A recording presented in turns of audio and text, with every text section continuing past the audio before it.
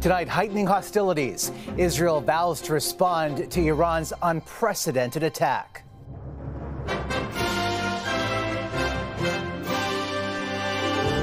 Iran will face the consequences for its actions. Deliberations over the time and scope of a retaliation. Please take the win. And the urgent global push for de escalation. The difficult search for an impartial jury in former U.S. President Donald Trump's historic hush money trial. You should apologize to these service members. Plus, a police chief's promise to repair trust and the clash at a dramatic press conference. Also, bracing for predicted tax hikes ahead of tomorrow's federal budget. And tackling addiction with art. Kind of look like you were actually inside your brain. The immersive dome bringing brain education to children in the North.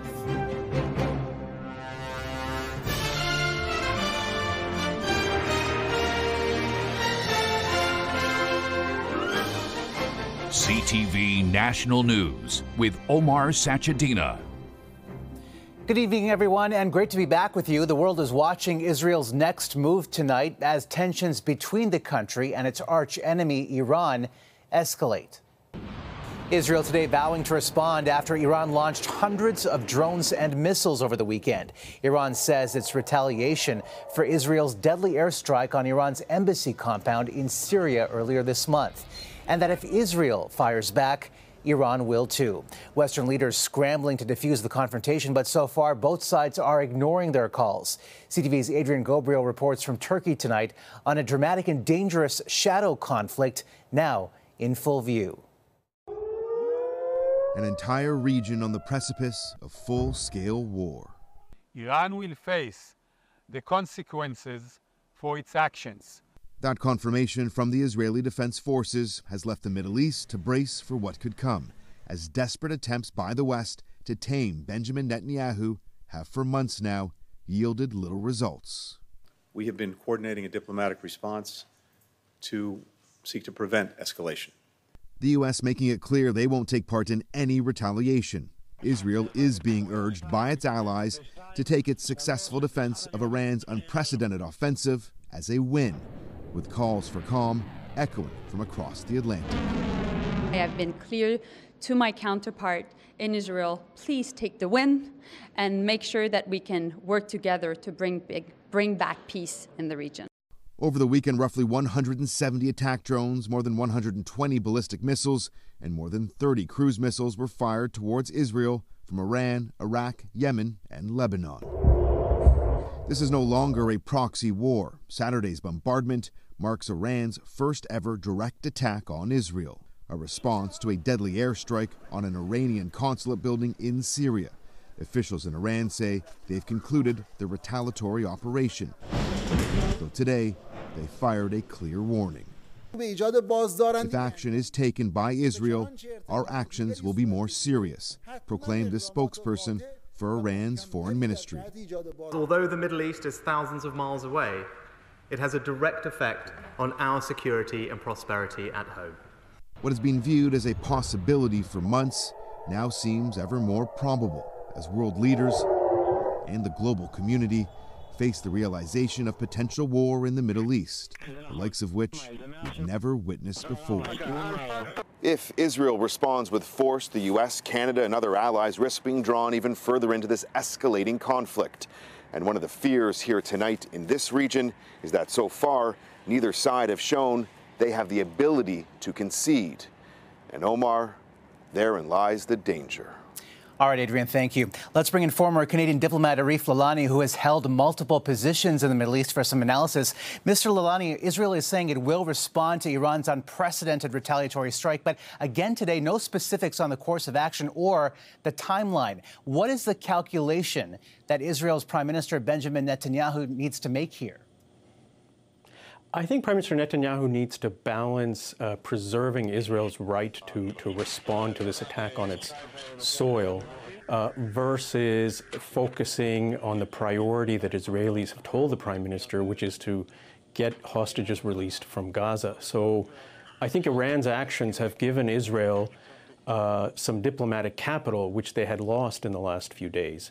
So the question for the Prime Minister is can he maintain strategic focus and deploy uh, the diplomatic capital he has today towards the priority of Gaza and uh, choose a response to Iran at a different time?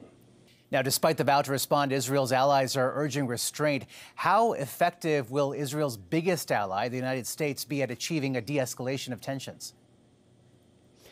I think that depends on the ability of the Biden administration to, to, focus on two things at the same time.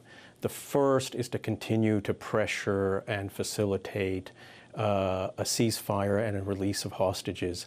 And the second is to broaden the strategic vision for the region so that Israel uh, is able to live in a, broader uh, peace and stability within the region.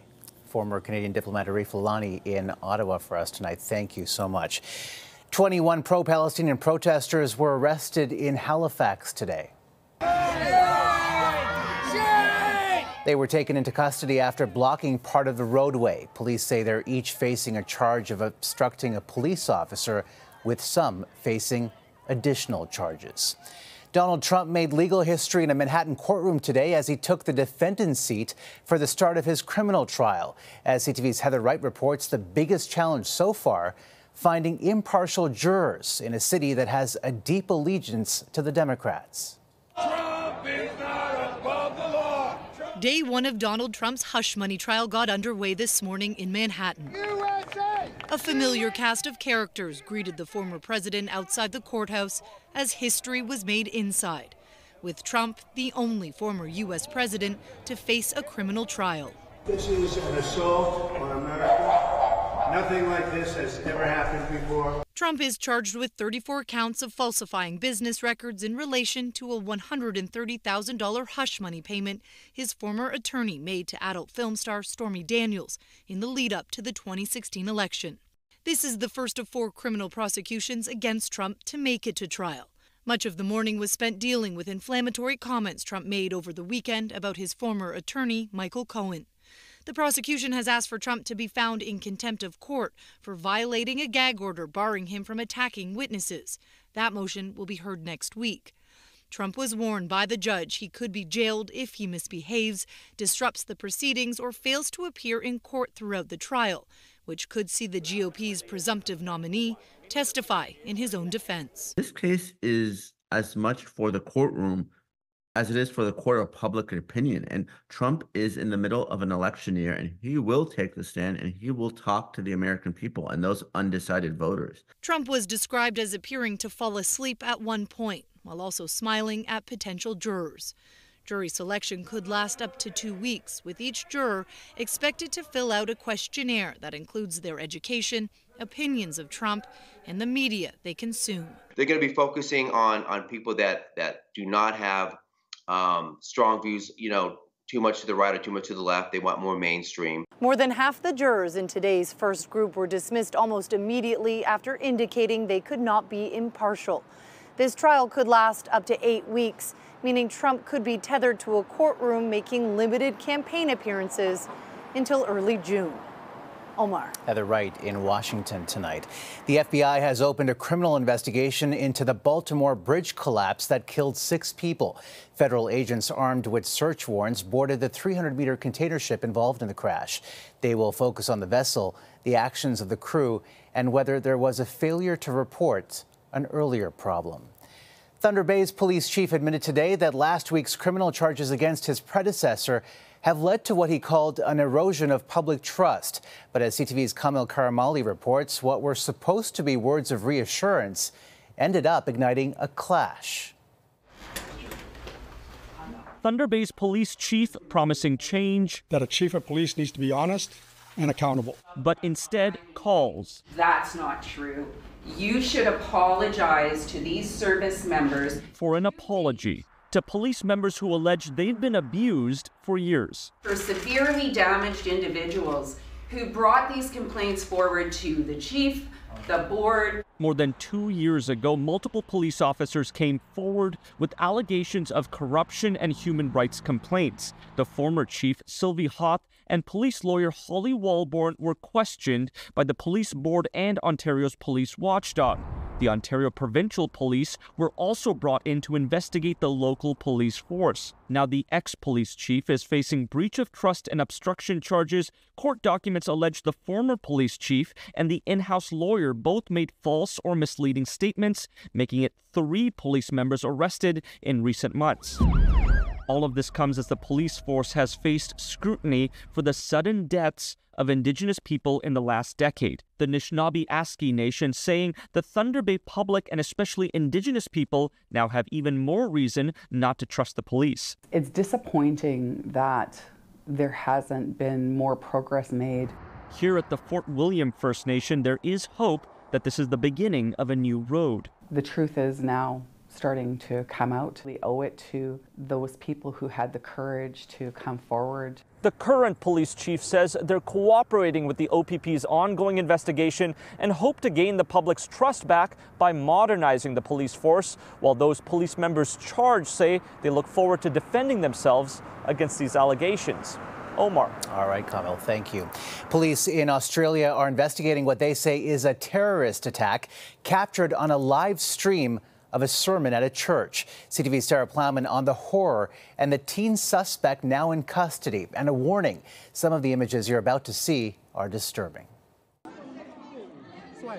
Face down and pinned down, churchgoers jumped from the pews to grab the attacker before police arrived. The bishop was live streaming his sermon when he was lunged at and stabbed. The attacker, police say, is 16 years old. After consideration of all the material, I declared that it was a terrorist incident. Police allege the teenager traveled to the church with a knife where he stabbed the bishop and the priest. We believe there are elements that are satisfied in terms of religious uh, motivated extremism. Outside, an angry crowd formed, wanting revenge, throwing bricks and concrete. We've had police injured and taken to hospital overnight. Australians were already reeling.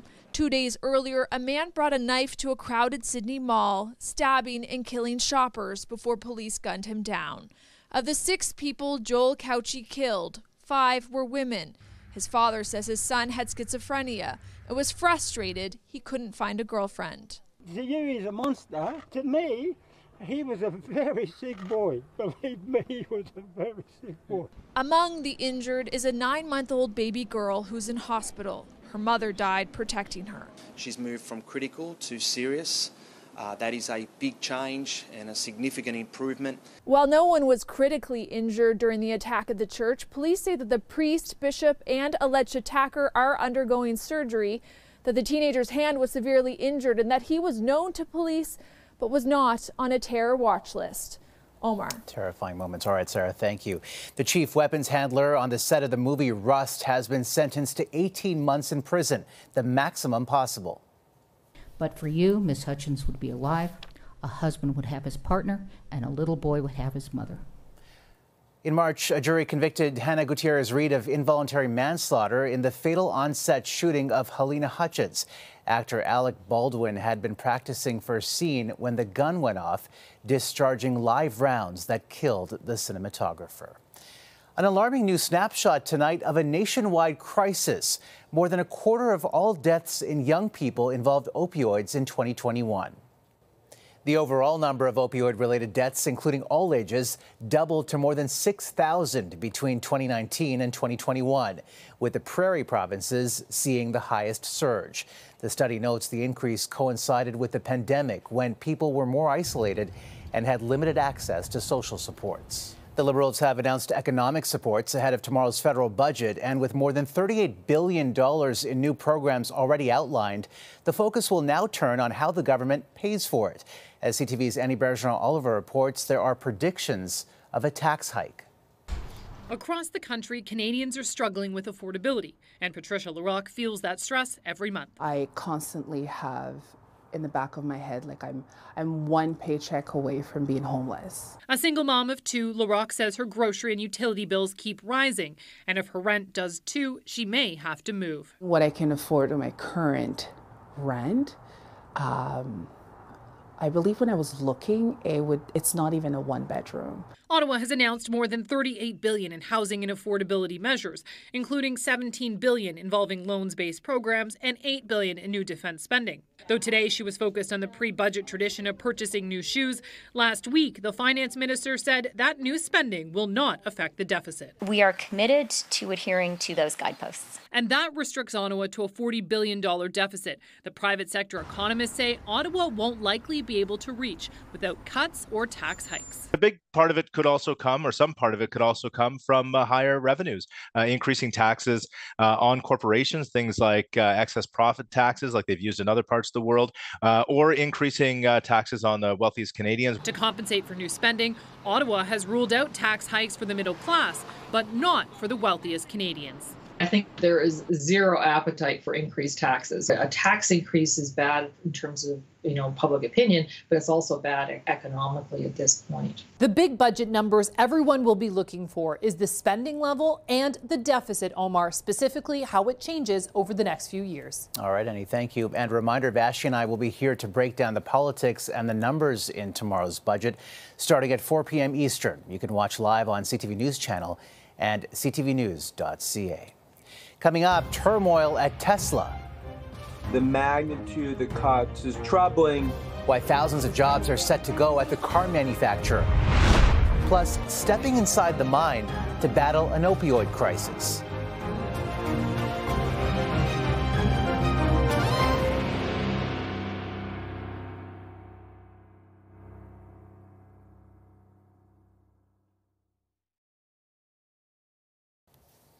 Tesla has announced it will slash about 10% of its global workforce. Currently, the EV maker has more than 140,000 employees worldwide. The move comes as higher interest rates are slowing demand for electric vehicles and raising questions about whether Canada can meet its EV targets. Here's CTV's Quebec Bureau Chief Geneviève Beauchemin. To many Tesla drivers, their EV is still ahead of the curve. Eric Rondeau bought his first Tesla more than a decade ago. And even let's say the car itself evolves, keeps evolving by software update on a regular base. So this is quite unique. But once seemingly unstoppable, Tesla is now slashing 14,000 jobs. Elon Musk reportedly writing to employees that there's nothing he hates more, but that it must be done. The EV maker has hit a series of roadblocks, facing increasing competition and declining sales. But Tesla's troubles also come as overall demand for battery powered vehicles has slowed. The sector is, in fact, still growing, but the pace of growth is now more sluggish. This as Canada aims to have all cars sold in this country be electric by 2026. If we don't address the barriers to electrification, it will be hard to reach the targets. Among those barriers, the charging network. We live in a very large country and Canadians are exposed to cold weather. So because of that, we need government to build an even more comprehensive charging infrastructure network. Another barrier is the price gap. EVs are on average $14,000 more.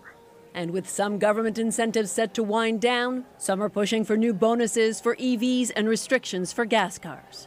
As for Tesla, Rondeau is confident it's just a bump in the road. So they're still ahead and, and it will take time that, uh, let's say, they, they are totally displaced. And down the road, say analysts, competition will drive down prices, drive up demand. Geneviève Beauchemin, CTV News, Montreal. Still ahead, savoring a golden moment. Canada's comeback at the Women's World Hockey Championship.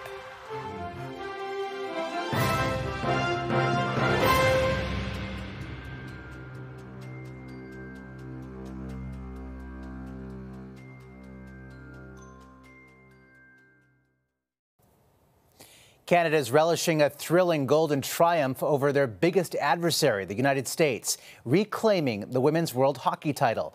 With reaction to the victory, here's the newest member of our CTV National News team, Paul Hollingsworth. A high energy gold medal celebration for Canada at the Women's World Hockey Championship.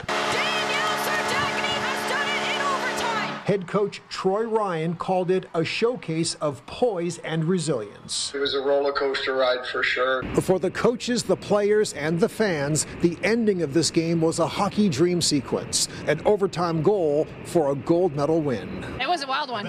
Probably the craziest game I've been a part of, so we're happy to bring back gold to Canada. Canada spent the past 12 months looking to rebound from last year's gold medal loss on home ice. It's not about the Americans, it's not about Finland or any of our opponents. And when we kind of dive a little deeper into ourselves internally, uh, we tend to get the best results. Canada has won this tournament three times in four years. The Americans have captured gold six times since 2013. This rivalry will continue to be even keeled. Over the last seven, eight years, it has been back and forth, back and forth. And now, with the launch of Professional Women's Hockey League, I think it's only going to continue to intensify the rivalry. As these teams inch closer to another potential showdown at the 2026 Olympics. Paul Hollingsworth, CTV News, Halifax. After the break, battling a drug crisis. It talks about opioids and it talks about where they come from and what impact it has on your brain. And then it talks about what your behavior can happen when you're ingesting those types of substances. Going inside the brain to change minds.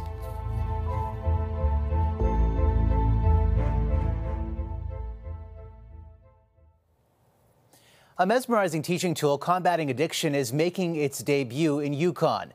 Struggling under the weight of the opioid crisis, the territory has opened up a new outside world to teenagers, now curious of its capabilities.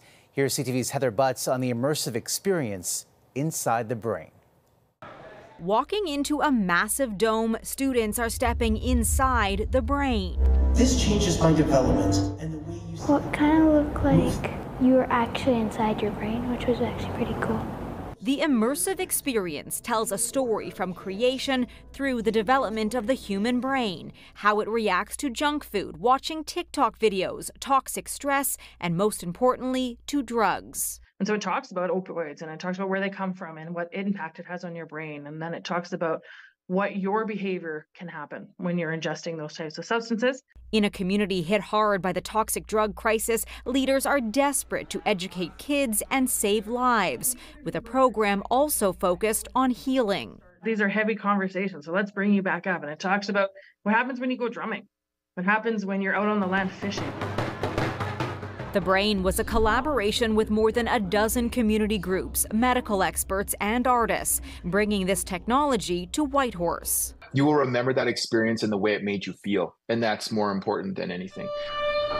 They aim to reach teenagers with relevant examples. It was actually pretty cool to know more about yourself and more about how your brain works. Welcome to these lands nested on the banks of Chuniquan, Yukon River. Designed and created for kids in the North, it touches on Indigenous culture, traditional teachings, and aspects of life here. As artists, we figure out a way to communicate some of the world's issues. And I think we've done a great job at providing these youth with an experience that resonates. They hope the brain will inspire teenagers and spark a conversation that will spread across the country. Heather Butts, CTV News, Toronto. And that's a snapshot of this Monday. For all of us at CTV National News, thank you for watching. Good night and see you tomorrow.